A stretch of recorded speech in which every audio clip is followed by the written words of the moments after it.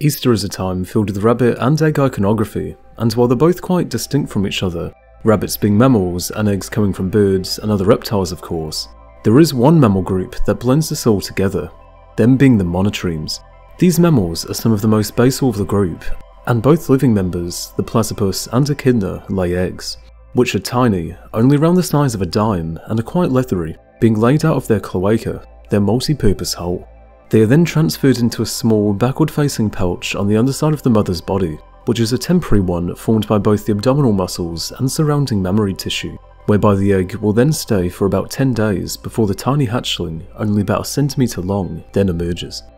They're able to break out of their egg by the use of their small egg tooth, whereby they then remain in their mother's pouch, with them putting on weight until they eventually become too spiny and uncomfortable to carry when they start to develop their own spines.